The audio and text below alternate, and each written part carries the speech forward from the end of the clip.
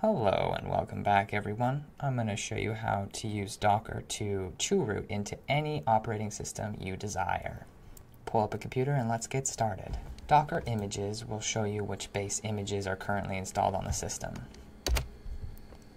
I have a couple that I'm using for some neural nets. We're going to go ahead and just do Ubuntu. So first step, we're going to make a directory called Ubuntu.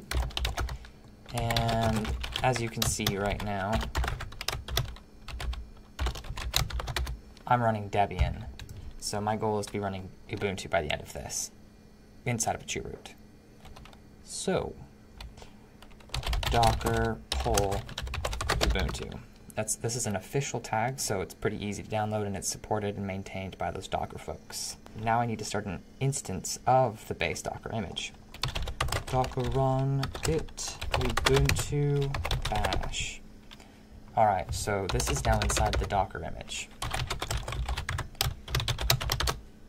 And you can see it is Ubuntu 16.04.04 LTS.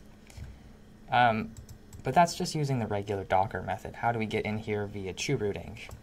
Well, we're going to leave this bash session open, come into a new root terminal, Docker PS shows us that this is the container ID of that running instance. So this is where the magic happens and we can dump the root file system. It dumps by default to std out, which is literally this screen output, but you need to redirect that to a file um, with the redirect thing. So docker export from the container ID then the redirect to a file, root.tar. What we just did there is we wrote an archive of the entire root directory into that root tar file. tar dash xvf root.tar. This will extract to my current working directory, which is fortunately a temp directory I've made. Ls again, and we have a root file system.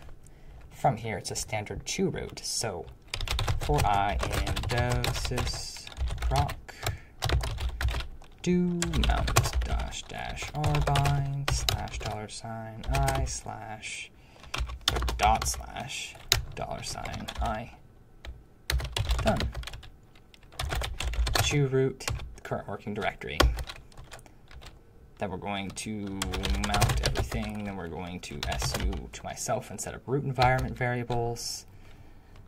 And we're going to make sure we're running the right operating system. And just like that, we've chrooted into a Docker image. Anything in the Docker repositories is a chroot potentially. So that's pretty cool. Thanks for watching. Bye.